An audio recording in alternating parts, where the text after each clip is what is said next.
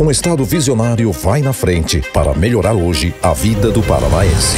O novo viaduto da PUC em Londrina faz mais que organizar o trânsito, protege a vida. A pavimentação da PR 239, de Pitanga a Mato Rico, abre novos caminhos para o agro. A duplicação da rodovia dos minérios agiliza o dia a dia entre Curitiba e Almirante Tamandaré. E obras como o contorno norte de Castro aceleram o progresso do Estado. Governo do Paraná, terra de gente que trabalha e cuida.